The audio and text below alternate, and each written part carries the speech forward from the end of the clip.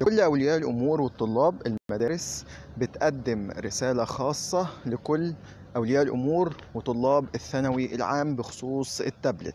المدارس طالبت طلاب الثانوي العام بسداد رسوم أقساط تأمين جهاز التابلت وهي 105 جنيه قيمة القسط لكل طالب. تمام؟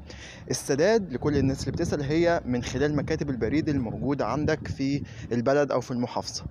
السداد ده لإيه؟ لاستمرارية التغطية التأمينية للأجهزة في حالة الفقد أو التلف الكلي أو التلف الجزئي.